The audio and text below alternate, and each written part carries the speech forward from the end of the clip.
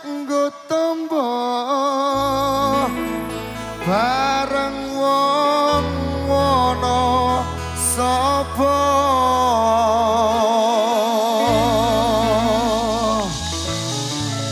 Eh cah iki ndek mau dadakan nek sing nyanyi lanang terus kita gak masuk iki Mas Bre Iki sedikit perkenalan. Ini namanya Mbak Sandi. Ini adalah violin dari Pak almarhum Pak Deddy Kempot. Boleh minta tepuk tangannya teman-teman? Nah,